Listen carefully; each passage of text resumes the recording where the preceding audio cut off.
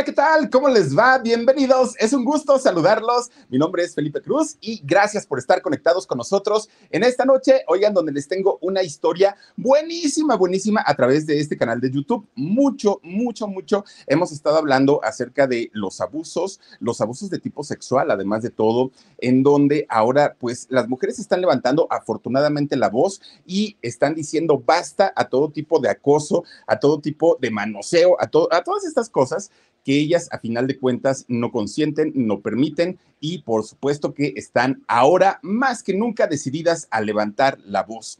Fíjense que hace muchos años conocimos esta historia en donde, sí, el nombre de Gloria Trevi sale, ¿no? A relucir porque se decía que ella era el gancho para llevarle muchachitas a un puerco cerdo asqueroso y marrano como es Sergio Andrade. Sí, este hombre que lo mismo abusaba de, chavitas de arriba de 18 años, pero también desde 13 años ya tenía gente metida ahí en su academia, puras, puras muchachitas.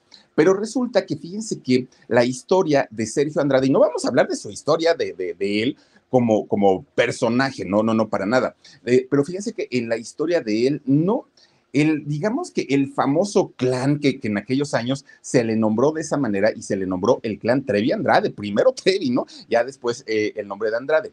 El famoso clan sí fue una, una situación en donde se decía que eran más de 30 jovencitas las que estuvieron en algún momento viviendo en esta dichosa academia artística.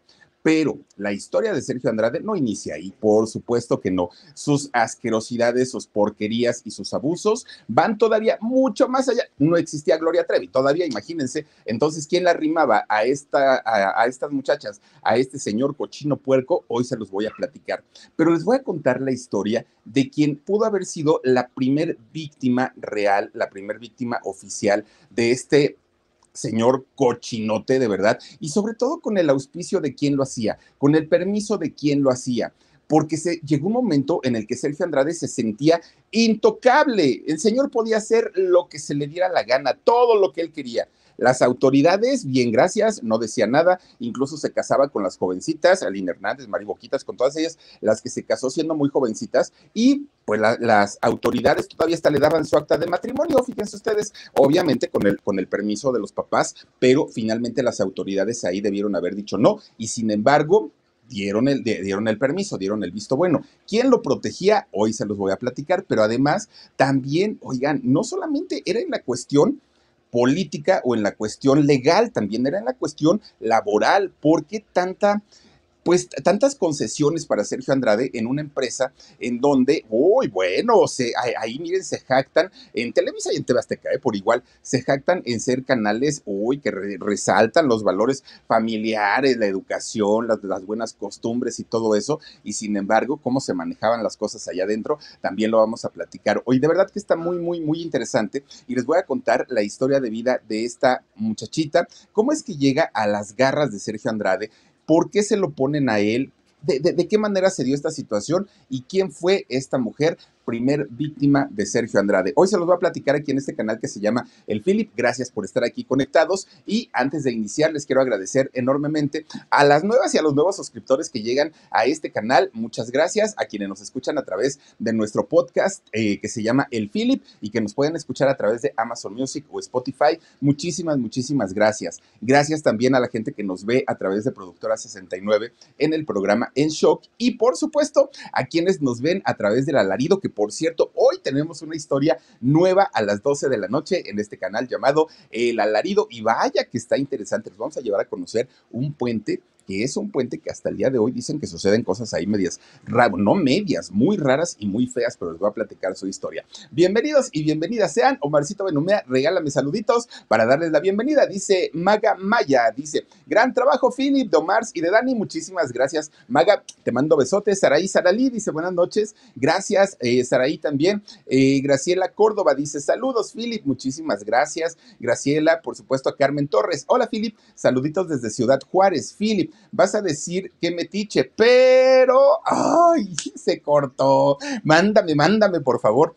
Eh, tu, tu, comentario completo. Dice Irma Maldonado, me encanta tu fuente, muchísimas gracias. Pues mira, se hace lo que se puede y hasta colorcito le ponemos y todo el rollo. Isabel Chaparro dice, hola Filip, buenas noches, saluditos también para Danisaurio, Aarón y Huesitos, muchísimas gracias. Isabel, Yula Cerón dice, hola Filip, saluditos, gracias Yula, yo te mando muchísimos besos. Gloria del Carmen Celis dice, hola, buenas noches Filip, como siempre, una buena historia. Ay, mi querida Gloria, hoy te prometo una historia que, que nos va a hacer pasar corajes, te lo prometo que sí. María Landín dice, buenas noches, Philip, ya di mi like como todas las noches. Gracias, María. Laurita Delgado, hola, Philip, mi, dice, mil bendiciones y saluditos desde El Paso, Texas. Muchísimas gracias, Laurita. Irma Maldonado, hola, Philip, me encanta tu profesionalismo, aquí escuchando atenta.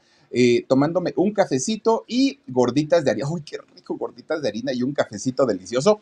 ¡Mmm, delicia! Dice Mané eh, Herranz, dice, hola hermosos, saludos y por favor, un cierro mis ojos, te lo voy a hacer con todo cariño y cierro mis ojos. ah, ya tenía rato que no hacía el cierro mis ojos, ¿ya? Dice Pepino Rosa, saluditos cordiales desde la ciudad típica de Metepec, en el Estado de México. Muchísimas gracias, Pepino. Te mando un abrazo. Y Mari García dice, Omar, ¿por qué hijos no pasas mis saludos, guapo?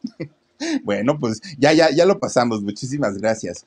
Oigan, pues sí, este caso de, de, Sergio Andrade, de Gloria Trevi y de todas las chicas, porque no fue la única mujer que estuvo ahí, fueron una cantidad tremenda de muchachas, ha dado tanto y tanto y tanto y tanto de qué hablar que desde aquellos años, desde los años 90, por ahí del 95, cuando se comienza ya a, hablar sobre una historia truculenta en este grupo de personas, y posteriormente en el 98, que es cuando sale el libro de Aline y todo, y, todo este asunto, y se empieza a destapar, ¿no? Lo que ocurría dentro de, de, las instalaciones de Conexiones Americanas, esta empresa perteneciente ni siquiera a Sergio Andrade, ni siquiera a Gloria Trevi, estaban a nombre de Carla de la Cuesta, ¿sí? Estas hermanitas poblanas, Carla era la que... Eh, era la prestanombres oficial y ella era la dueña de la empresa, además ella era la dueña de las propiedades, cuentas de banco, en fin, Carla de la Cuesta pues les manejaba prácticamente todo.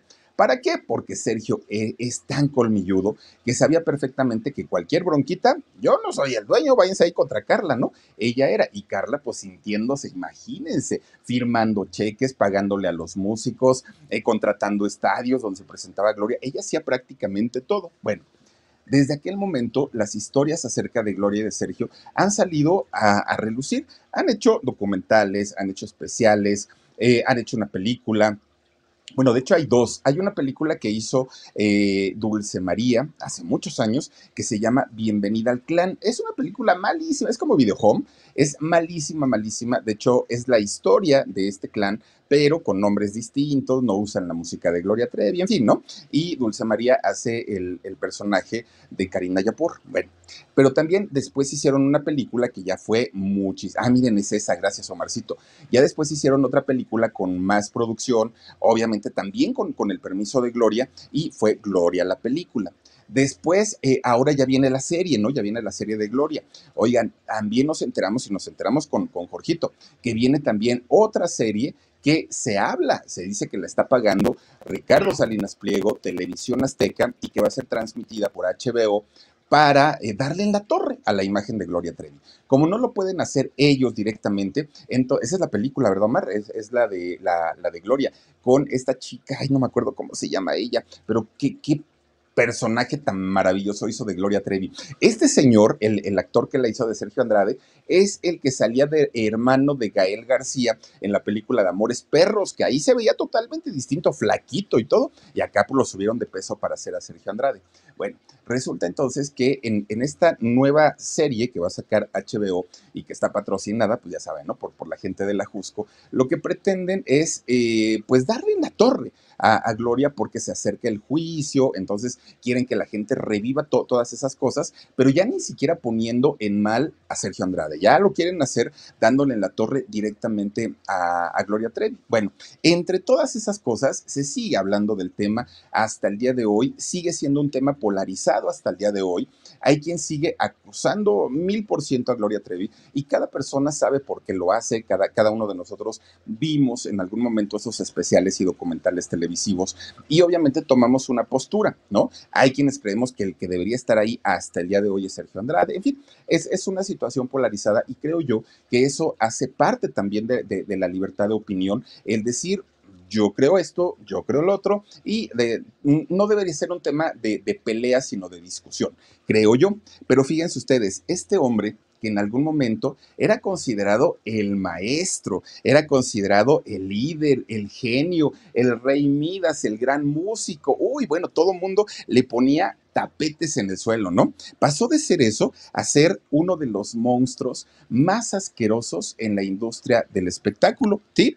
Y miren, Resulta que durante mucho tiempo, sobre todo Televisión Azteca, nos vendió la idea de que Gloria era la que iba y pedía permiso. Dejen que esta niña venga a trabajar aquí con nosotros y da, da, da, ¿no? Cuando en realidad han habido, y, las entrevistas están ahí, ¿eh? Eh, en, en YouTube, pueden encontrar cuando Aline dijo, este, pues es que Gloria fue y me abordó, pero en realidad su mamá trabajaba en la misma estación de radio que Sergio Andrade.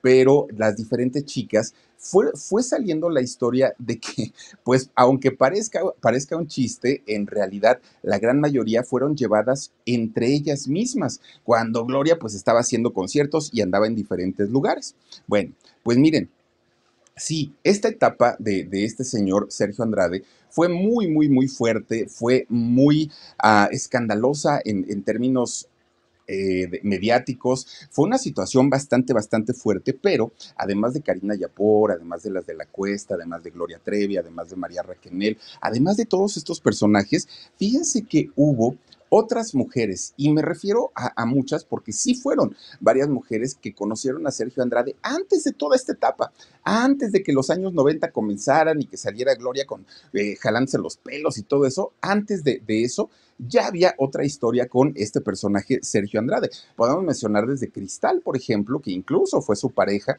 y ella misma contaba cómo la castigaba Sergio y que la subía al carro y le daba vueltas por la ciudad y luego la dejaba abandonada ahí en el calorón o en el frío a esta mujer sin saber en dónde se encontraba. Podemos hablar el caso de Yuri, que por ejemplo Yuri estuvo muy bien defendida por mamá Gallo, ¿no? Por su mamá, doña Dulce Canseco, que en el caso de ella, pues no pudo eh, hacer nada Sergio, por lo menos es esa versión conocemos gracias a la señora. También, eh, pues vimos la historia de Lucerito, ¿no? Lucerito siendo niña, 13 años en la época de Chispita. Fíjense, nada más 13 años. Y este señor ya un... Ay, bueno, ya un labregón, ya un viejo hecho y derecho, con una muchachita de tan solo 13 años. Y Lucerito cayó, que, que, que, ella diga que no y que no sé qué, que no sé cuándo, tan cayó que en el momento que Sergio le habla por teléfono para decirle, te veo en tal lado y de ahí nos vamos a fugar, Lucerito dijo, ahí te veo y ahí espérame que su hermano fue el que eh, fue de chismoso con su mamá y le dijo, mamá, este viejo es el que ya se quiere llevar a mi hermana. Ah, por eso doña Lucero León mandó a golpearlo y lo dejó ahí tirado en, el, en la oficina, ¿no? Que encontraron un montón de libros de psicología y dominación infantil, fíjense nada más. Pero resulta que gracias a eso, pues no, no ocurrió, ¿no? Lo mismo con Lucerito. Ya después Lucerito se asustaba y decía, ay, no, viejo puerco, es un delincuente y todo. Sí, pero cuando estaba chiquita también cayó y también eh, pues se, se, dejó seducir y, vamos, ni siquiera pudo haber eh, una, una, seducción, más bien se dejó influenciar por, por este tipo que sabía perfectamente la manipulación hacia las menores de edad, solamente que ellas tuvieron la suerte de que sus mamás estuvieran al pendiente de ellas, por eso es que no, no ocurrió eh, a mayores. Bueno, mucha gente decía, ¿cómo es que llega un personaje como Sergio Andrade a ser alguien con tanto poder, alguien que, que, de pronto las autoridades le valían gorro, que de pronto en, en, la televisora y en Televisa, lejos de castigarlo, de sancionarlo, hombre, lo premiaban y ahora te vas a la OTI y ahora te vas acá y ahora te vas allá y ahora vas a manejar a tal persona. ¿Cómo es que se convierte en un personaje tan, tan, tan importante? Bueno. Resulta que en Televisa, hasta el día de hoy, ¿eh? porque tampoco podemos decir eso eran los ochentas, no, hasta el día de hoy hay un, hay, hay un círculo de corrupción, de complicidad ahí en Televisa. Y obviamente, si la cabeza está podrida, pues ¿qué se esperan ustedes de, los de abajo? Todo, todo, todo, todo, pues va cayendo en cadenita, todo. Pero resulta que fíjense que ahí en, Televisa, pues era el, el, intocable, era el rey Midas, le iba súper bien. Pero de repente, un día, pues la ambición de Sergio, ¿no? De querer ganar más, de, de, decir, a mí me debe la empresa que, que, se haya convertido en un monstruo, yo les traje a mi, a mi, gran artista y todo, pues resulta que quería más dinerito, se hace muy ambicioso y además su mal carácter, pues terminan en tremendo pleito con el Tigre Azcárraga. Entonces, Gloria pues ni siquiera pudo opinar, ella dijo, pues yo hago lo que Sergio me diga, como siempre había sucedido. Entonces terminan peleándose, Sergio Andrade se sale con Gloria Trevi, se van para, para Televisión Azteca, pero al llegar a Televisión Azteca, obviamente toda la protección que tenía de Televisa, pues se le terminó, ya no estaba, ¿no? Ya, ya, ya Sergio formaba parte de una nueva televisora y todos aquellos protectores, todos aquellos ejecutivos que, bueno, le tendían la mano y le tapaban todas sus porquerías, pues ya no estaban. Claro que tampoco es que haya llegado sin, apoyo alguno a Televisión Azteca, ¿no? Ahí estaba su ex, su ex amiga, ¿no? Eh, Patti Chapoy, una persona con la que, bueno, tenía una relación, pero miren, de piquete de ombligo, eran grandes amigos, ¿no? Que Gloria, Gloria y Mari Boquita siempre han contado una historia distinta y ellas han contado que en realidad Sergio y Patti Chapoy eran fueron amantes. Eso lo contaron ellas. Eh, eh, Gloria lo contó en su libro, eh, María Raquel lo ha contado en entrevistas. Y finalmente, cuando Sergio llega con Gloria a Televisión Azteca, pues ahora se encuentran con, digamos, con, el apoyo, ¿no? De esta mujer. Bueno, firman el contrato, pero a la hora de la hora que siempre ya no. Sergio dijo que, Televisión Azteca les quería pagar en efectivo y otro tanto en las Islas Caimán y que ellos eran muy derechos, entonces que no querían brincarse el fisco, que querían pagar impuestos. Se rompe el convenio y ahí viene el gran problema. Ahí es donde Patti Chapoy queda muy dolida porque ella fue la que habló con, con Ricardo Salinas Pliego, su jefazo, y lleva a Gloria y a Sergio a la televisora. Al ya no haber un, un, este, un contrato, un convenio, pues Televisión Azteca pierde dinero, Patti Chapoy queda como pues imagínense la, mentirosota porque me traes a un personaje y resulta que ya se largaron. Bueno, no sabía de qué manera desquitarse Patricia Chapoy, principalmente de Sergio, pero obviamente Sergio y Gloria en aquel momento eran tan unidos que pues bueno, eh, eh, empieza esta guerra de declaraciones y empiezan a buscar la manera de fregar a Sergio y a Gloria. ¿Cómo lo iban a hacer? Claro que doña Patti sabía todo el maneje todo el manejo de lo que había ocurrido con Sergio a lo largo de los años, lo que había ocurrido con Cristal, lo que había ocurrido con Lucerito, lo que había ocurrido. Ella sabía, pero lo sabía como lo sabían todos, ¿eh? Como lo sabía Luis de Llano, como lo sabía, bueno, doña Maxine que dice que para ella todo eso es normal. Eh, todos estaban enterados de todo. Pero en el momento que doña Patti vio afectados sus intereses es cuando dice, ahora va la mía y vas a ver si no. Y entonces empieza ya toda esa persecución tremenda, tremenda, ¿no? Eh, sacan a, relucir la historia de abusos de Sergio en contra de mujeres menores de edad. Por ahí de 13 años era el promedio de las chicas y también había mujeres eh, que ya, ya rebasaban los 18 años. Pero eh, Gloria, eh, perdón, Patti, es cuando se ensaña, ¿no? Con, con esta situación. Bueno, pues una vez que se destapa todo el escándalo es cuando más mujeres comienzan a sumarse y a decir que creen yo también. Yo también fui víctima, fui víctima de Sergio Andrade, a mí también me hizo, y se empieza a destapar una cantidad de cosas tremendas, tremendas, tremendas. Bueno, miren, Sergio pasó de verdad de, haber sido el productor más querido a ser el más repudiado en, en aquel momento. Y se sabía que él utilizaba su poder musical y su talento, porque también hay que decir que Sergio Andrade pues, es un, virtuoso y un talentoso y claro que es un buen arreglista. Es muy preparado Sergio Andrade, muy preparado. Y entonces eh, resulta que él utilizaba el decir, te voy a convertir en una gran artista, voy a realizar tus sueños, te voy a llevar de gira por el mundo y con la única condición, pues, ¿qué crees? mira, pues vente para acá conmigo, pórtate bonito, y las convertía, las terminaba convirtiendo en sus esclavas sexuales. Ahora, hasta ese momento, ¿cuál era la razón de la impunidad de este personaje? Bueno, recordemos que Sergio Andrade es hermano de Eduardo Andrade. Eduardo Andrade comienza trabajando en Televisa y comienza siendo eh, comentarista deportivo allá narraba los deportes y todo, ¿no? Eh, y de hecho también trabajó en una estación de radio que ahora no recuerdo en cuál, locutor a final de cuentas, ¿no? Eduardo Andrade. Pero posteriormente cuando deja ya este, el mundo de la comunicación, se va a meter al PRI, al Partido Revolucionario Institucional, se, eh, eh, se hace político y es, ay, miren, ahí es cuando entra bien borracho, ¿no? A reclamarle al teacher. ¿Qué le decía el teacher? Oye, hueles alcohol. Y le decía, ay, pero si de qué te asustas, si yo te, te he olido peor, le decía este, este Eduardo Andrade. Bueno, después se hace diputado después se hace senador.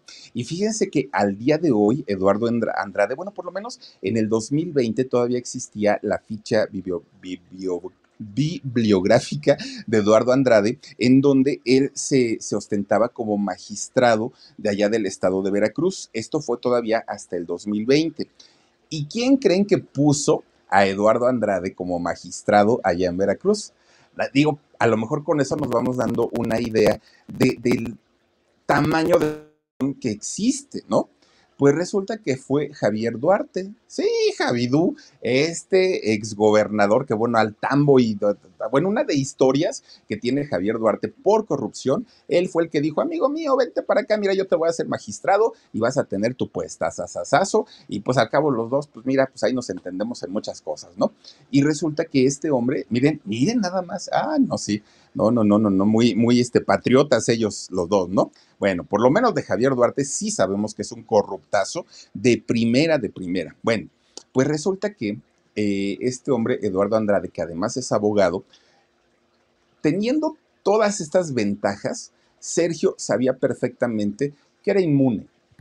Las autoridades no le iban a decir nunca nada. ¿Cómo le vas a decir algo al hermano del diputado? No, no, no déjalo, no, no le hace daño a nadie. Pero además, eh, también en el caso de, eh, Sergio, se aprovechaba muchísimo de esta situación porque era lo mismo que hacían todos en Televisa.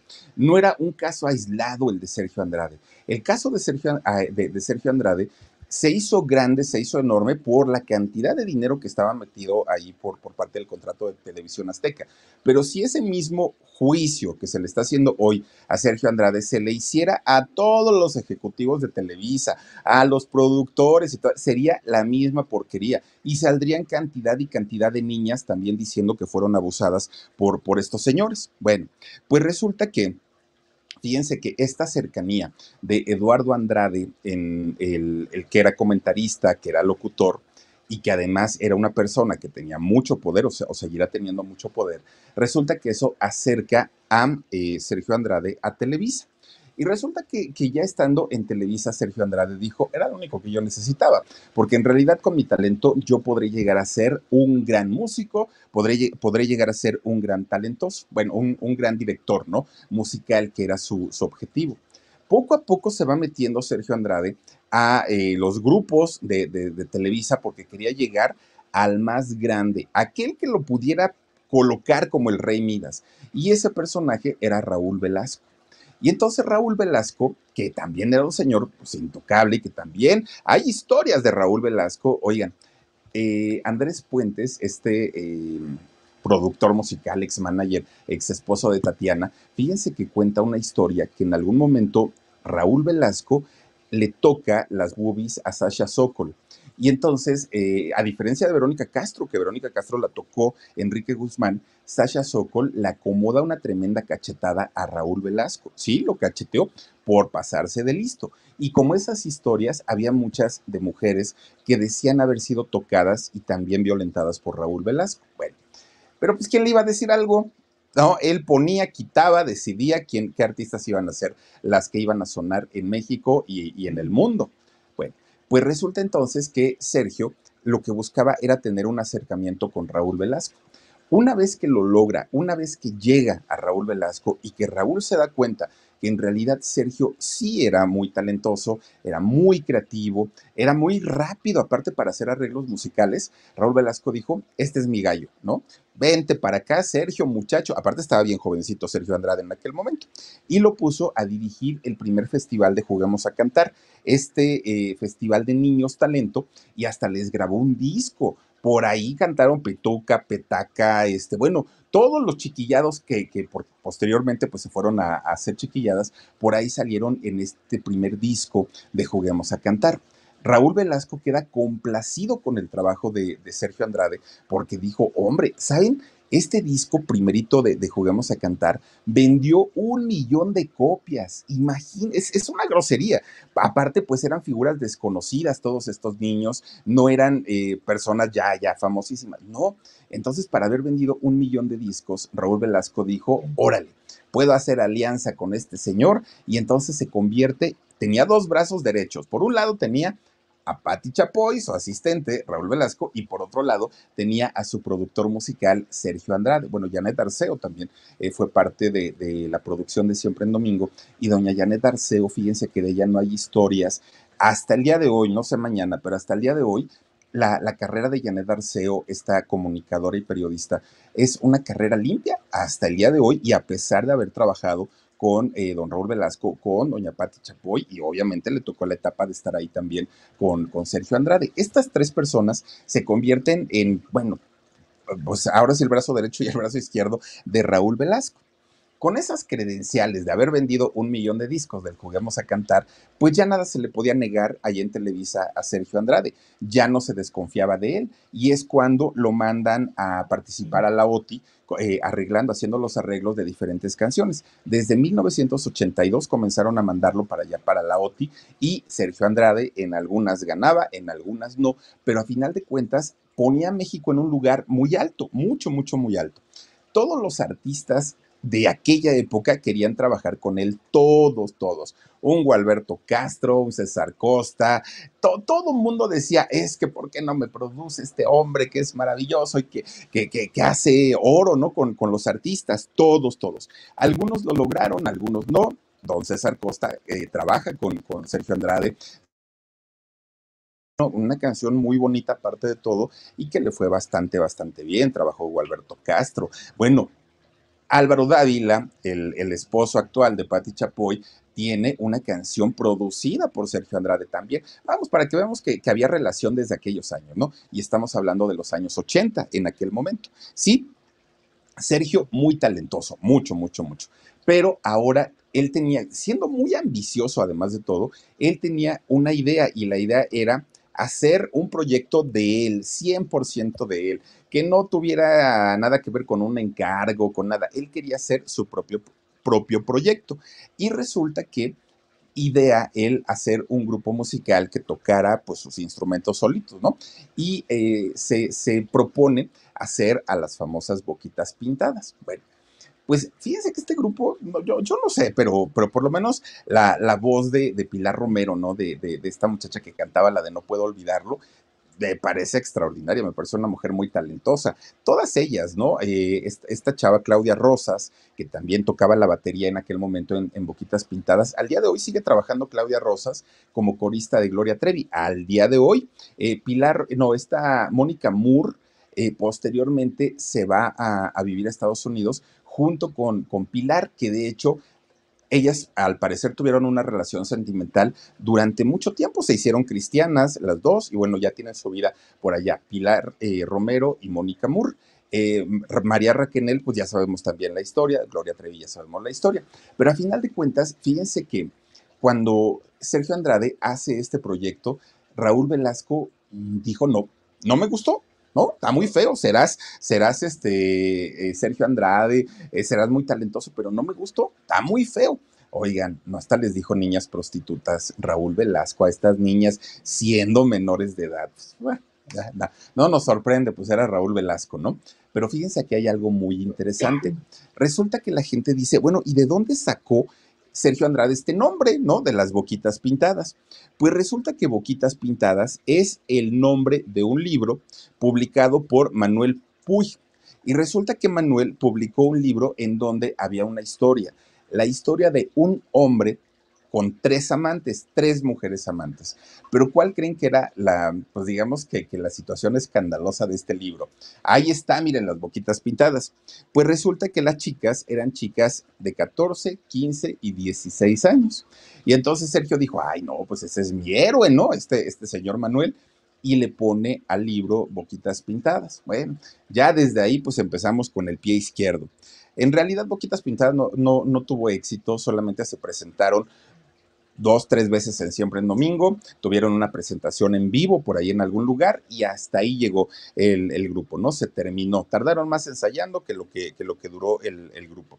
Ya después vendría el lanzamiento claro, de Gloria Trevi, de, la tecladista del grupo de Boquitas Pintadas. Y miren, ahora es cuando se da toda esta historia que es la más contada, que es la más manoseada, que es la que todo el mundo conocemos acerca de, Gloria Trevi, ¿no? Eh, que se convierte primero pues en una superestrella y después pues cae en el escándalo y el escándalo mediático más grande de todos los tiempos, por lo menos en México. Fue un escándalo de proporciones épicas en aquel momento. Bueno, pues resulta que si Patti Chapoy salía todos los días y nos decía, fue Gloria la culpable y fue esto. Yo no digo que no lo sea, ¿eh? Yo, yo lo que estoy diciendo es que allá en Televisión Azteca, más que decir Sergio Andrade, Sergio era el abusador, no, era Gloria, Gloria, Gloria. Bueno, todo el tiempo porque decían que era el gancho.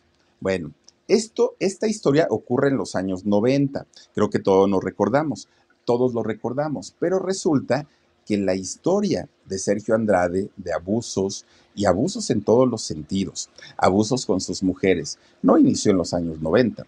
La historia de Sergio Andrade, el abusador, el puerco, el que se metía con chamaquitas, no inició a partir de Gloria Trevi hacia adelante. Hubo una historia previa de, Sergio Andrade en donde le prometía a las jovencitas que él consideraba talentosas en convertirlas en grandes figuras y en grandes estrellas. Fíjense nada más. Bueno, resulta que de pronto, de todas estas mujeres que comienzan a, hablar en aquel momento, salen diferentes mujeres, muchas de ellas que incluso decían, ay, ¿a poco así a ti ni te tocó, tú ni estuviste? Pero ellas salían, ¿no? Porque aprovechaban el momento. Pero hubo otras historias bastante crueles, bastante eh, crudas, y cuando conocimos a una mujer que de pronto se atrevió a hablar sin tapujos, que salió a hablar diciendo absolutamente todo, no arrasó solamente con el nombre de Sergio Andrade, no involucró a gente muy importante de Televisa, muy importante, desde ejecutivos, actores, productores, y que le valió gorro y dijo, y no tengo miedo en decirlo porque estoy diciendo la verdad. Bueno, esta chica, que al día de hoy debería tener 64 años, ya no vive. Desafortunadamente, ella murió. Ahorita les voy a platicar toda, toda esa historia. Esta muchacha llamada Judith Enriqueta Chávez Flores fue eh, una mujer cantante que era, miren, si ustedes escuchan cantar a, esta chica, que posteriormente la bautizan con el nombre artístico de Gaby, resulta que Gaby era una mezcla entre Cristal y entre Yuri hagan de cuenta, o sea, están escuchan qué bonito cantaba Gaby. Oigan, a mí me sorprendió porque Gaby tenía una tesitura, un tono de voz potente, pero muy tierno, una voz muy bonita. Y la música que cantaba Gaby, que obviamente era música de los años 80, era música muy rítmica, que ponía de buenas. Hace ratito la estábamos escuchando aquí este, todos en casa. Oigan, qué, bonito de verdad cantaba eh, esta mujer. Bueno. Pues resulta que es, esta mujer nace en, en, la Ciudad de México. Ya les digo, ella murió, pero ahorita debería tener 64 años de edad. Bueno, resulta que a los 14 años, esta muchachita, 14 años, que ella desde muy niña había deseado ser artista, era su sueño. Pues resulta que con 14 años la contrata un hombre llamado Gustavo Pimentel. ¿Quién era Gustavo Pimentel en esos años? Gustavo Pimentel era el director de la orquesta de Siempre en Domingo. Recordemos que Siempre en Domingo tenía su gran orquesta para la entrada y la salida de, comerciales, ¿no? mandaban a comerciales, para, para, para, para, empezaban ahí con, con, con sus este, sonidos y cuando regresaban lo mismo. Y entonces esta chica Gaby comienza a trabajar con él. Y ustedes dirán, ¿cómo es que una niña de 14 años llega a trabajar a Televisa? ¿Cómo es que se hace corista de, esta orquesta? Bueno, pues resulta que esta niña, y, perdón, les estoy diciendo 14, tenía en realidad 13 años, Gaby cuando empieza a trabajar allá en la, en la orquesta de Siempre en Domingo. Resulta que años antes el padre de Gaby muere y muere de una manera trágica el, el padre de Gaby. Y su mamá, una mujer que además quedó muy dolida, eh, quedando viuda y al cuidado de su hija, era una mujer muy noble, era una mujer muy...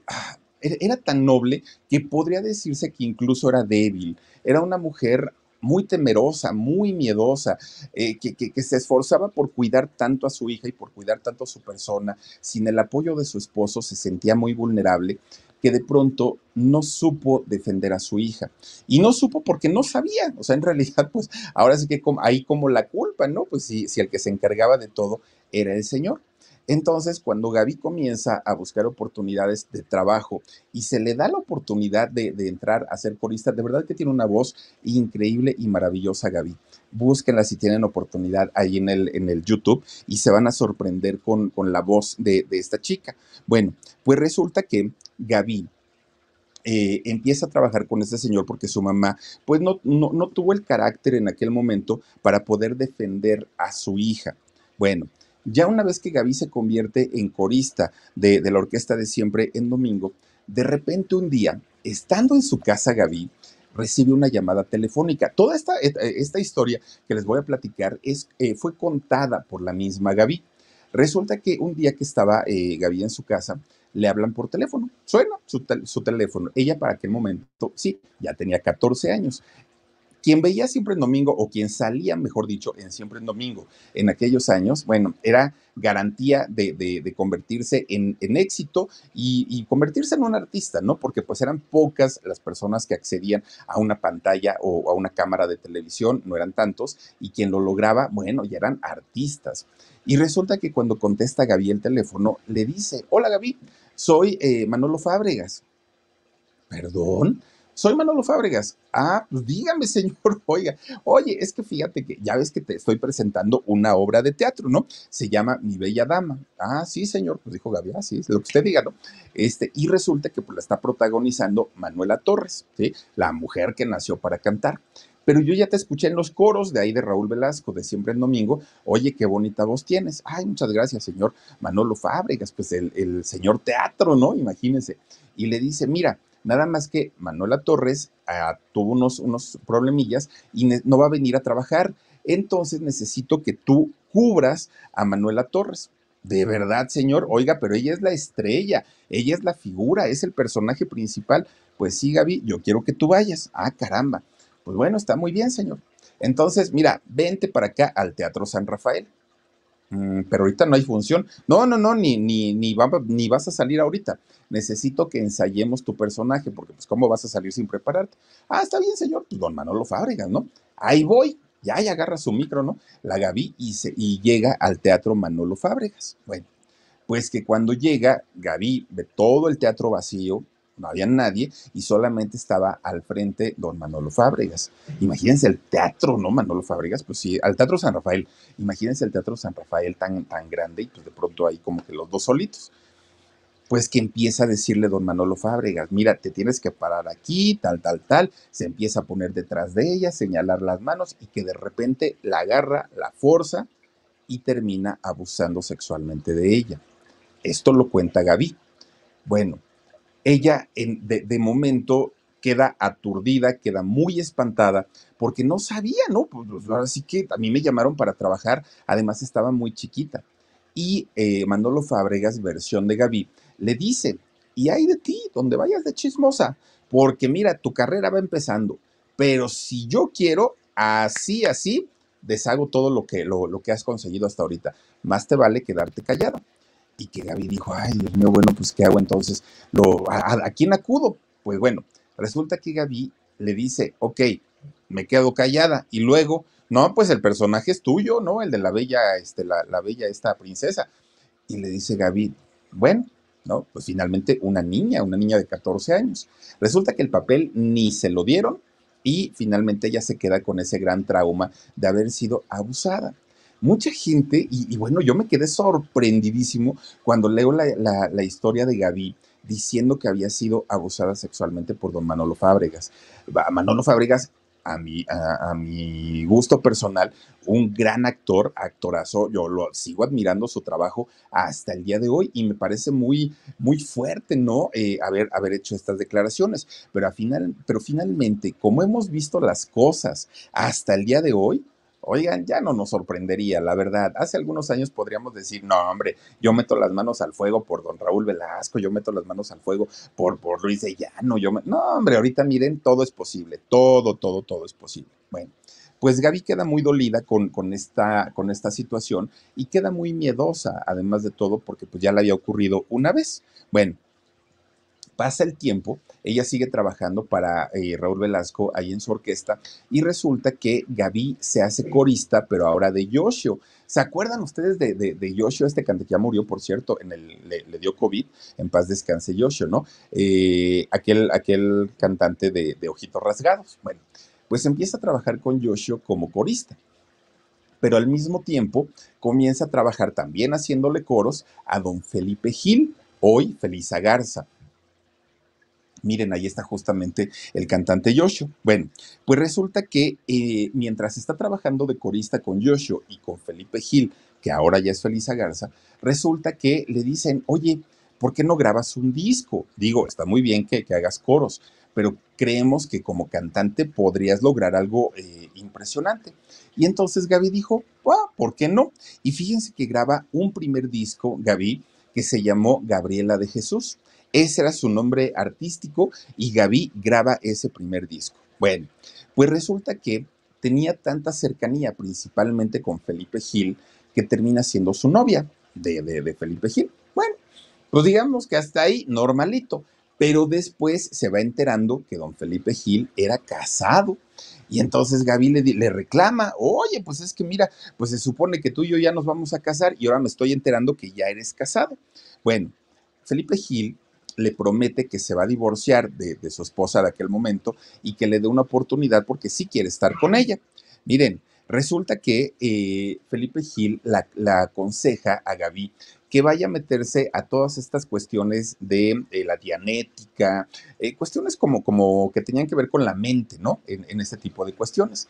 Y cuando Gaby entra por recomendación de Felipe Gil, contado por ella por Gaby, resulta que ella se da cuenta que en estos lugares eran básicamente pues como un tipo de dominación mental. Ella se espanta mucho y se va, estando muy, muy jovencita. Ya no queda al alcance de Felipe Gil. Bueno, se sale de, de este sitio. Pero resulta que un día Felipe Gil le, dice, oye Gaby, que ya no quisiste ir a, a estallar lo de Dianética y todo eso. No, no, no ya, no, ya no me gustó. Ah, bueno, pues no te preocupes. Oye, te invito un trago, vamos a mi casa. Felipe Gil en aquel momento tenía una, una propiedad en la calle Hidalgo, que es muy conocida allá en Coyoacán. Es una de estas calles empedradas, muy bonitas, ¿no? Y entonces, no sé si seguiré empedrada. Y resulta que le dijo, vente para acá. Llegando a la casa de Felipe Gil, que habían sido pareja, resulta que eh, pues, le empieza a dar un trago, él empieza a tomar también, todo muy rico y todo muy a gusto, ¿no? No, no pasaba absolutamente nada. Pero que de repente Felipe Gil se le va encima a Gaby, fíjense nada más, y abusa sexualmente de ella. Gaby queda tan decepcionada del mundo del espectáculo porque decía, es que no puede ser posible que ya me pasó una primera vez, ahora una segunda vez, ¿qué es lo que sigue? Decía Gaby, y decide retirarse. Se retira durante tres o cuatro años, ya no quiso hacer nada del mundo del espectáculo Gaby. Cuando ella se sintió preparada para regresar a trabajar, pues dijo, ¿y por dónde empiezo? O sea, pues, ahora sí no conozco a nadie, ya toda esa gente con la que yo trabajaba y todo, ya ni, ya ni se acordarán de mí, nadie me va a recibir. Y entonces le habla a Felipe Gil y le dice, oye, fíjate que quiero regresar a los escenarios, pero no sé por dónde empezar. Y Felipe Gil le dijo, ay, ni te preocupes, Gaby, este, yo, yo te apoyo. Ya habían pasado tres, cuatro años, que eso es muy extraño, muy, muy, muy extraño. Yo no sé si eso sea posible, ¿no? Que después de un abuso, que después de un abuso la gente regrese con el agresor, no lo sé. Y resulta que Gaby eh, es citada por Felipe Gil en una oficina que tenía en la calle de Monterrey, allá en la Condesa, en la colonia Condesa de la Ciudad de México. Y entonces llega Gaby y la atiende un, un este, centroamericano, de hecho, un muchacho que era de, El Salvador. Y entonces cuando llega Gaby le, le pregunta, oye, este, vengo a buscar al maestro, ¿no? A Felipe Gil. Este muchacho se llamaba o se llama Wilfrido Huerta, el, el salvadoreño. Y entonces le dice, permítame, va a la oficina y le dice a don Felipe Gil, oiga que ahí lo buscan, que una muchacha llamada Gaby. Ah, sí está bien, entretenla, ya sabes, que le dijo eso don Felipe Gil. Baja este muchacho, el salvadoreño, y le dice, oiga, sí, la va a recibir, pero pásele por acá. Y en lugar de subirla a la, a la oficina, le empieza a bajar como hacia el estacionamiento del edificio. Ah, ya poco aquí la va a recibir aquí, no se preocupe. Ah, bueno. Eh, entran a un lugar que era como un sótano y resulta que le dice, ahorita vengo, cierra la puerta este muchacho, Wilfrido, y al poco rato entra eh, Felipe Gil. Una vez que entra, empieza a platicar con ella y antes de que empezara ya la plática sobre trabajo, nuevamente vuelve a abusar de ella Felipe Gil. Sale Gaby como pudo de, después de esta, de esta situación pues traumática y ahora sí va a contárselo a algunos de sus amigos. Oigan, es que me acaba de pasar esto, ¿cómo es posible que yo haya caído de nuevo? Y mira que no sé qué. Bueno, estos amigos le dicen, mira Gaby, ¿y qué quieres hacer? No, pues ahora sí quiero ir a denunciar. Ok, está bien que quieras ir a, ir a denunciar, solamente te decimos algo. Felipe Gil no te fue a sacar de tu casa, no te atacó en la calle. Tú veniste y te metiste a su edificio. Punto número uno. Punto número dos, tampoco te llevaron a la fuerza ni arrastrando al sótano. Tú bajaste por tu propia voluntad. Te van a voltear las cosas y al ratito van a decir que tú veniste a acosarlo. Entonces, pues quién sabe qué tanto te convenga denunciar.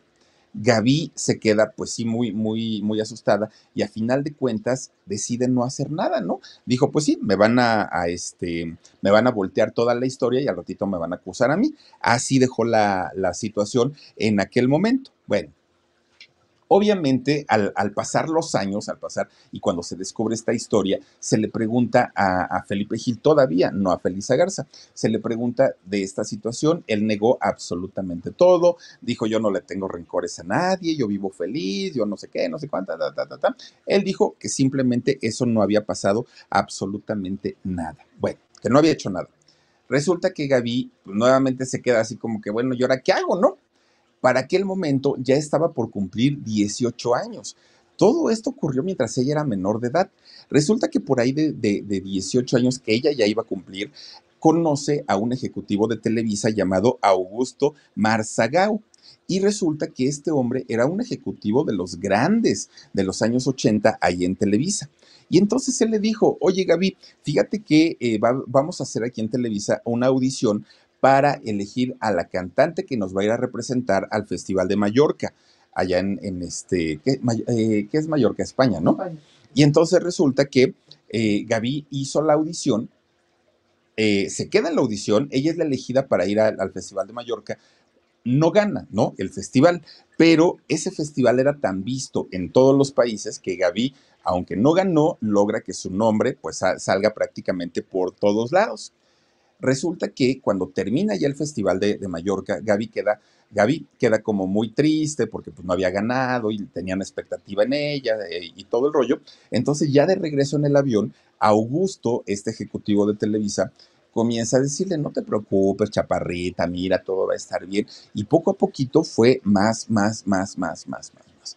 Cuando llegan a México, pues ya era prácticamente pues una relación la que tenían ellos que Gaby siempre decía, es que tuve que empezar a tomar alcohol porque para echarme a este señor, bueno, necesitaba una botella completita, ¿no?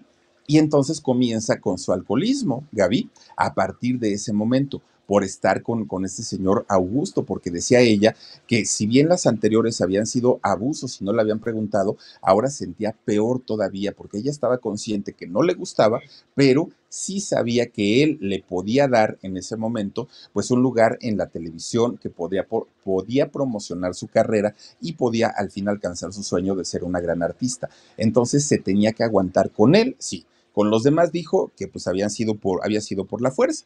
Bueno, pues resulta que de tanto y tanto, entre el alcoholismo, la depresión que empieza a padecer, el que no despuntaba su carrera, pues Gaby empieza a bajarle su autoestima, empieza a vivir una etapa muy oscura en, su vida personal. Resulta que ella sabía que hasta ese momento, pues solamente eh, los que supuestamente podían llevarla a convertirla en una estrella habían abusado nada más de, de esta mujer. Bueno, pues resulta que Pasa el tiempo y fíjense que ya ahora es después del Festival de Mallorca, ya cuando estaba aquí en México, de repente un día eh, le hablan de la CBS, ¿no? De esta compañía disquera que al día de hoy es, Sony Music, no parte de Sony Music. Bueno, resulta que le hablan, para aquel momento era 1977, y le dicen, Gaby, necesitamos que vengas, te vamos a firmar un, contrato, vas a grabar un disco y bla, bla, bla. Ya iba a ser el segundo, ¿no? Ella ya había grabado otro. Entonces resulta que Gaby dijo, órale, pues está padrísimo, no sé qué, ay, voy para allá. Pero Gaby, dentro de toda su depresión y todo lo que traía, ya estaba trabajando en algunas canciones, en porque aparte componía en algunas canciones, en la música de, las propias canciones, y estaba trabajando con un muchacho que era este, argentino, eh, Pablo Ramírez. Y resulta que, pues ella dijo, al cabo ya tengo productor musical, llega a la CBS, la sientan allí en una sala de juntas y le dicen, Gaby, ok, este es tu contrato, a partir de tal fecha vamos a empezar a trabajar y todo. Gaby estaba feliz de la vida. Y entonces le presentan a su nuevo productor musical. Y dijo Gaby, oigan, pero yo ya tengo a un muchacho que me está produciendo, se llama Pablo Ramírez, ¿qué va a pasar con él? Mira, de Pablo, olvídate, no, no, no, con él no pasa nada, lo conocemos y le vamos a cancelar, no pasa nada. Ahora tu nuevo productor es este muchacho, que es un muchachito que va iniciando en su carrera, que es un muchachito muy talentoso, Sergio Andrade. Sergio Andrade cuando conoce y ve por primera vez a Gaby y teniendo, siendo pues cochinote de toda la vida, resulta que olfateó esa, pues es, a esa mujer carente de cariño, con una depresión tremenda, eh, que se sentía poca cosa, porque así estaba Gaby en su peor momento. Y dijo Sergio, ay, pero por supuesto, yo de aquí me agarro. Y entonces, ni tardo ni perezoso, empezó a meterse mucho, mucho, mucho a la vida de Gaby a llevarla, a traerla, pues a, ser el, el, caballero, porque dicen que así empieza Sergio Andrade, siendo el caballero, siendo el amigo, siendo el padre, siendo todo. Y entonces empieza a, a platicar con, con Gaby y además de empezar a producirle su disco, la llevaba para todos lados, que vamos a comer, vamos al cine, vamos allá, y terminan teniendo una relación. Una relación que de acuerdo a Gaby, Sergio dice que no, pero de acuerdo a Gaby se casaron. Se casa Sergio Andrade con Gaby y duraron ocho años juntos. Fíjense, nada más, ocho años juntos. Bueno, pues resulta que Televisa en aquel momento los manda a la OTI. La voz preciosa de Gaby con el talento de Sergio en, los arreglos y en la composición, era una, una bomba, ¿no? Funcionaban a la perfección. Entonces les empieza a ir muy bien en los festivales de la OTI. Todo excelente hasta aquel momento.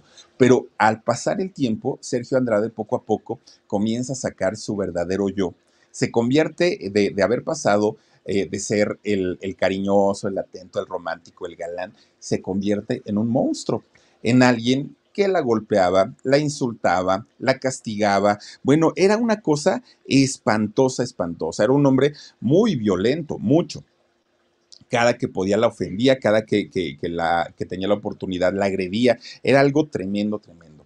En esta relación de ocho años, Gaby conoció el cielo y el infierno literalmente. ¿Por qué?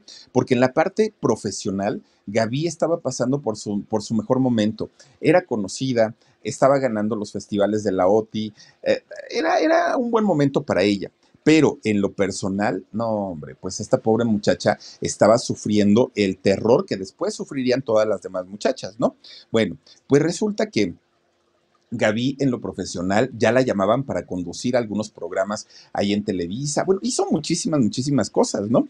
Fíjense que un buen día Sergio Andrade, viendo todo el éxito que tenía Gaby, le dice, fíjate que ya hablé con Televisa y Televisa me está pidiendo la propuesta de una nueva cantante. Y esa cantante vas a ser tú. Y Gaby dijo, perfecto. Y entonces le dice, mira, vamos a convertir tu imagen de ser la niña tranquila y la niña buena y todo, vamos a convertirte en la loca, en la loca de la televisión. Te vamos a poner unos pelos enormes, te vamos a poner las medias rotas, te vamos a hacer así, vas a cantar tus canciones más alocadas y esto es algo que no se ha hecho en televisión te lo prometo que vas a ser un éxito. Gaby le dijo, no, no, no, no, la verdad a mí no se me da, yo no tengo esa personalidad, no me interesa, muchas gracias, pero no. Además tengo muchos contratos, además tengo cantidad de trabajo por ahora, pues a qué hora lo voy a hacer. Bueno, pues resulta que no lo hace. ¿no? Años más tarde, por ahí de 1989, conoceríamos a esa artista que sí hizo lo que Sergio eh, quería, que fue Gloria Trevi. Bueno, pues total, resulta que Gaby en, aquel, en aquellos años, todavía en la parte última, donde convive con Sergio Andrade, un día vio llegar a una muchachita, a una muchachita jovencita, 13, 14 años tenía por, por aquel momento, ¿no? Muy, muy tímida, muy, muy seriecita, muy bien portadita y muy bonita. Y entonces Gaby decía, ay, ¿quién es esa niña, no? Pues quién sabe. Al, paso del tiempo se entera de su nombre y era Gloria Treviño. Bueno, la veía así como de lejecitos. Pues resulta que veía el, la mirada de morbo de Sergio sobre esta niña y un día los espía pero cuando los estaba espiando, Gaby lo que, lo que logra ver es a Sergio y a Gloria en la intimidad. Imagínense nada más, ¿no? Pues algo que, que para ella fue muy difícil. Total, llega el momento en el que Sergio se enfoca totalmente a la preparación de boquitas pintadas y Gaby pues ya pasa a segundo plano, ¿no? Ya dijo, ay, no, ya ni, ni, me pela ni nada, se harta y se va, ¿no? Gaby deja finalmente a Sergio Andrade. Eso sí, cuando ella se va, estaban eh, produciendo algunas, algunas canciones y eh, una de ellas fue la canción de Suavemente de Cristal, que se supone que la compusieron entre los dos, versión de Gaby, pero lo que no sabía ella es que Sergio, que era un pues ahora sí que, un viejo lobo de mar registró esta canción solamente a nombre de él, no le da el crédito a Gaby.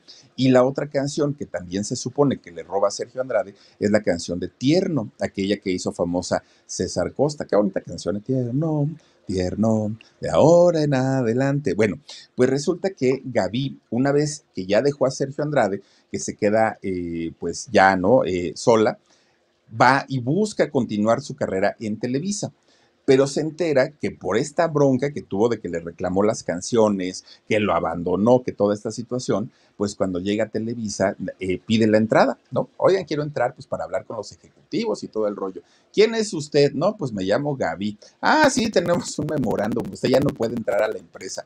¿Pero por qué? Pues porque está vetada. Aquí ya no entra. Muchísimas gracias por su participación, pero ya no la dejaron entrar nuevamente. Bueno, esto obviamente pone fin a su carrera como cantante, ¿no? Y como conductora, que también había sido. Miren, resulta que Gaby, muy enojada, muy desconcertada por todo lo que había ocurrido, escribe un libro. Este libro se llama Carne de Cañón. Y en este libro, Gaby cuenta todas estas historias que les estoy eh, diciendo y muchas otras, además de todo. Pero ¿qué creen? El libro está agotado, ya no se consigue, solo hubo una edición, hasta ahí quedaron las cosas, ya no vive. Entonces, pues ahora sí privilegiados los que lograron tener este libro porque cuenta una de cosas, Gaby, tremendas, tremendas. Bueno, imagínense que Gaby en este libro narra, narra eh, el momento en el que conoce, por ejemplo, a una Verónica Castro. Y dice en el libro, Gaby, que eh, Verónica Castro era una mujer muy promiscua, no lo digo yo, lo dijo Gaby, y que era tan promiscua que al mismo tiempo podía andar con dos o tres personas. Pero además es Gaby quien saca aquella eh, versión que Cristian Castro ni siquiera era hijo de Loquito Valdés, que era hijo de Jorge Alberto Riancho. Es ella quien finalmente saca, y bueno, el parecido de Cristian con, con, este señor Jorge Alberto, pues es, es tremendo, ¿no? Que eso yo creo que todos lo hemos visto y todos lo sabemos. Bueno, saca, por ejemplo, eh, esa historia, pero también habla del romance o supuesto romance que existió entre doña Patti Chapoy y Sergio Andrade. Desde aquellos años, fíjense, ya se hablaba de, este romance. Y Gaby comenta ahí mismo en su libro que en realidad todo lo que ocurrió con el caso de Sergio y de Gloria, que, que Gaby dijo, sí, Sergio es un puerco, es un cochino, sí se mete con niñas, pero todo, todo, todo el caso lo infló a su conveniencia Televisión Azteca y no fue por lo del contrato, dijo Gaby, fue por la rivalidad sentimental que había por parte de Patti Chapoy hacia Gloria Trevi y hacia Sergio Andrade. Entonces, e, este tipo de historia las narraba. Pero fíjense, resulta que decía Gaby, el problema de por qué Sergio dejó a Patti Chapoy era porque de entrada, pues le gustaban chiquillas, ¿no? O le seguirán gustando al viejo marrano le gustaban chiquitas. Patty pues, estaba chiquita de tamaño, pero pues ya tenía sus años. y además era casada y que a Sergio no le gustan las casadas, le gustan las solteritas, le gustan las muchachitas. Entonces que por eso un día mandó a, volar a doña Pati Chapoy y que esto la dejó muy dolida y por eso pues, ya vinieron las venganzas años más tarde. Pero no fue todo. Resulta que en este mismo libro, eh, Gaby también comenta que cuando sale todo este escándalo de, de, Andrade, de Trevi, de todo esto, y que se cuenta la historia de la pequeña Ana Dalai, que en paz descanse, bueno, Gaby decía que ella sabía que Ana Dalai no había muerto, que en realidad la niña había sido mandada a Europa nada de, lo que nos habían contado hasta ese momento coincidía, nada, absolutamente nada, ¿no? Ahora eh, ella nos estaba contando una historia totalmente diferente. Y fíjense que la manera en la que Gaby narra las cosas, las cuenta, tienen coherencia. Todo, todo, todo, todo tiene coherencia. No digo que haya dicho la verdad, no lo sé si mintió o no mintió, lo que sí les digo es que cuando escuchamos hablar a Gloria Trevi, se contradicen una cantidad de cosas tremendas. Gloria primero dice que nunca anduvo con Sergio, luego que sí anduvo, luego que no esto, pero que siempre sí. Cuando entrevistan a, a, es la misma historia. Se contradicen unas cosas, todas las chicas, todas las chicas de ese grupo se contradicen al contar la historia. Pero ¿qué creen? Gaby no. Gaby cuenta la, historia que uno va, va, entendiendo poco a poquito todo lo que ocurría en, en aquel momento. Por eso es que tuvo tanto peso y tanta, tanta fuerza este libro de Como carne de cañón, porque en realidad Gaby tampoco es que de, este libro haya hecho como Aline Hernández, ¿no? Que decía, yo lo hice para salvar a las jovencitas, pero nunca fue a avisarles a sus mamás, a sus papás, pero nunca fue a poner una denuncia. Ella primero sacó su libro, lo puso a la venta, le dieron sus programas en televisión hasta que hizo novelas, y ya luego, pues ya sí rescató a las muchachas, ¿no? A través, de, a través del libro. Pero Gaby no Fíjense que, el interés de ella era como totalmente distinto y por eso les digo que por la verdad de las verdades, si a mí me, ponen a escoger entre a quién le crees, a Mari, a las, a las este, de la cuesta, tal, a tal, a Gloria, tal, yo le creo a Gaby, de verdad, por, por la forma en la que va hilando todas, todas las historias. Bueno, pues este libro le termina, termina de sepultar a Gaby. ¿Por qué? Porque pues obviamente tocan nombres como, ¿saben de quién también habla en este libro? Habla de Humberto Navarro.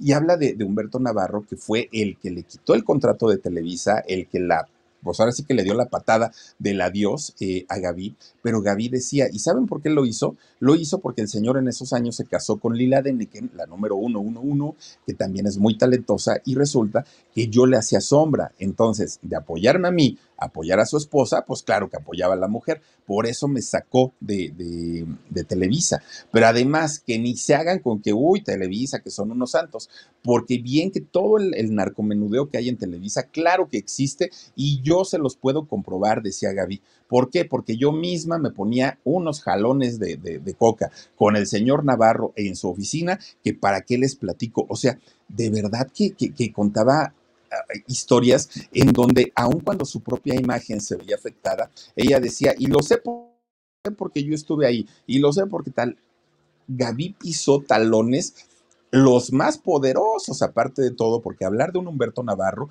oigan, Humberto Navarro, además de ser la pájara Peggy, él era el, creador de, tantos programas, La Carabina de Ambrosio, este, Chiquillada, no, hombre, o sea, eh, eh, Humberto Navarro, gran directivo y productor, ¿no? Eh, en Televisa. Entonces, meterse con ellos no era algo sencillo o no era algo fácil, y Gaby lo pudo hacer de una manera tremenda, tremenda. Bueno, pues fíjense, resulta que esta mujer ya una vez que no tenía nada que ver con el mundo del espectáculo, que ya había terminado pues prácticamente todo, de repente desaparece.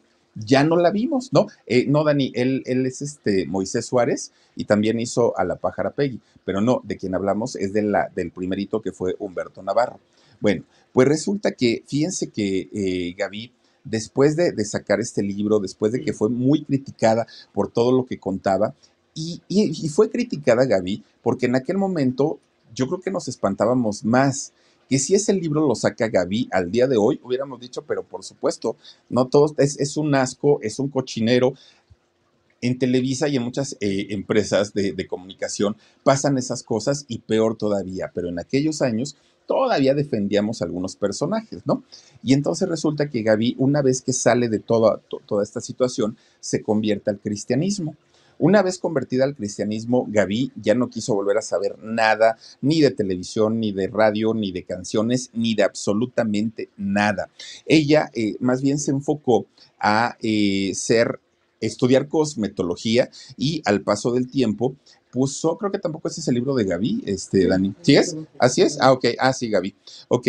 De, fíjense ustedes que abre su propia estética, Gaby, y comienza a trabajar en ella, ya en una vida totalmente alejada de, los escenarios, de los escándalos, de todo lo que había pasado. Incluso se fue a vivir allá a Carolina del Norte, en Estados Unidos, porque se casó con un militar, ¿no? Estadounidense. Entonces se va a vivir para allá, llevaba una vida bastante tranquilita Gaby en su salón de belleza, en su estética, ya dedicándose a, otro tipo de cosas y sí seguía cantando, pero solo para eh, la iglesia, para, para la iglesia cristiana y ocasionalmente iba a los cuarteles del ejército a cantar también el mensaje de Dios, pero pues ahora sí por parte de su esposo, ¿no? Que la llevaba a los cuarteles. Pero fíjense ustedes que la historia de Gaby posteriormente se convierte en una historia trágica porque eh, de repente pues un buen día nos enteramos que Gaby había muerto. Fíjense nada más, ella murió en el año 2010 y muere por un cáncer que, venía arrastrando de mucho tiempo y que desafortunadamente le quita la vida a, esta mujer, a Gaby. Entonces, pues ya, ya no se pudo conocer más o saber más acerca de la historia de, esta cantante, de esta muchacha. Oficialmente, grabó dos discos oficialmente, ¿no? Uno que, fue el que grabó en la época de Don Felipe Gil y el otro ya con Sergio Andrade, oficialmente. Pero hay gente que habla de más discos, que dice, no, si Gaby sacó muchos más todavía. Lo que sí es que al día de hoy es prácticamente imposible conseguir tanto discos como el mismo libro, algo que tenga que ver con Gaby, no, casi no, fíjense, ya prácticamente la, la historia de esta muchacha, pues poca gente la recuerda, poca gente la ubica, pero de verdad que si la buscan ahí en el, YouTube se van a llevar una sorpresa muy agradable porque cantaba muy bonito, muy, muy, muy bonito. Y sin embargo, pues miren, ni siquiera esa voz y ese talento le ayudó para poder hacer algo eh, grande en, el mundo de la música, pero sí fue, por eso se llama su libro, ¿no? Carne de cañón, porque sí fue carne de cañón para toda esta bola de pervertidos asquerosos que, que, que le quitan la inocencia a, una, a una niña. Algo muy terrible, muy, muy, muy terrible. Pero bueno, pues ahí está la historia de Gaby. Y miren que nos quedamos con historias de Sergio Andrade, porque vamos, no hablamos ni de, de su vida ni nada, pero Gaby fue, sí, de las primeritas, ¿no? De las primeras afectadas pero ¿cuántos hijos tuvo Sergio Andrade? ¿Con quiénes los tuvo? ¿Dónde están esos hijos? Es, es verdad que eh, Sergio Andrade regaló a uno de ellos con su hermano eh, Eduardo Andrade. Toda esta historia de, Sergio y de los hijos, mañana se las vamos a platicar porque está está tremenda, de verdad, muy, muy, muy tremenda. Aquella, aquellas historias que contaban que a los hijos los mandaba que los abortaran y a las niñas las tenía porque después las quería convertir en sus esposas. No, no, no, una cosa asquerosa de verdad con este señor, que podemos escribir libros, libros, libros, hablar horas y horas y horas sobre la vida de este personaje que es terrible, terrible. Pero bueno, hasta aquí dejamos la historia de Gaby. Vaya, no, no, no, no, no, no nos sorprendió esta mujer. Vamos a saludar, pero mañana tenemos la segunda parte. Dice eh, Josefina Ávila, muchísimas gracias por eh, hacerte miembro de nuestro canal del Philip. Gracias, Josefina.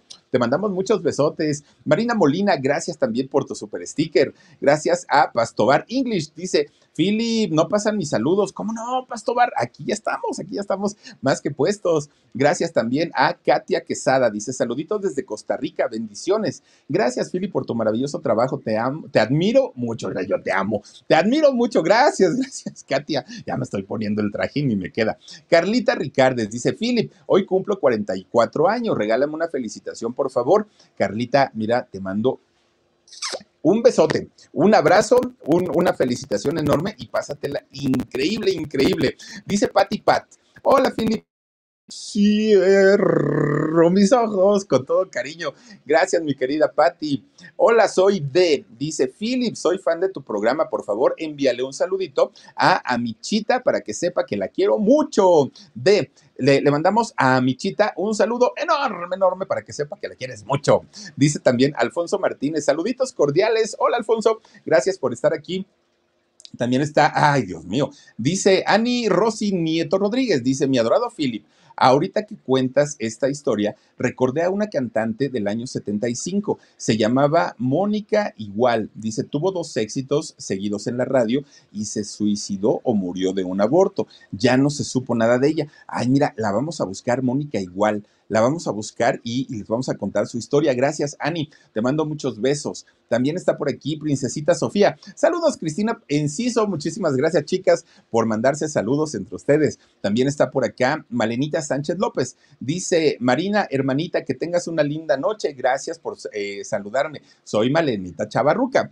Jessica Moncayo dice, besos, mi vida. Es un detalle verte todas las noches mi querida Jessica, gracias a ti, te mando muchos besos. María Elvia Vázquez, eh, ¿qué es? Y Izar Yarza. Dice, como siempre, muy interesante la historia que nos cuentas. Un cordial saludito y muchas bendiciones, Philip. María, te mando muchísimos besos. Gracias también por estar aquí. Guadalupe Ramírez dice, señor locutor. El señor locutor era el diputado, el este Eduardo Andrade, fíjate. Claudia de la Cruz dice, buenas noches, Philip. Hola, Claudita. Gracias también por estar aquí. Y por último, tenemos aquí a Karina Leiva. Dice, hola, Philip. Te mando besos y abrazos mi querida Karina, para ti también. Oigan, pues muchísimas gracias por habernos escuchado con la historia de Gaby, que en paz descanse, y solamente ella sabrá si todo lo que escribió en su libro lo vivió, lo pasó o, a lo mejor fantaseó, no lo sabemos, de verdad, y ya no está para preguntarle, pero lo que escribió verdaderamente es de terror, de terror, que conociendo cómo se manejan estos ambientes, no lo dudamos ni tantito. En fin, mañana les seguimos con la historia de este señor cochino horrible y les contaré la historia de sus hijos. Cuídense mucho, nos vemos en el alarido en un ratito. Muchísimas gracias por habernos acompañado. Adiós. Besotes.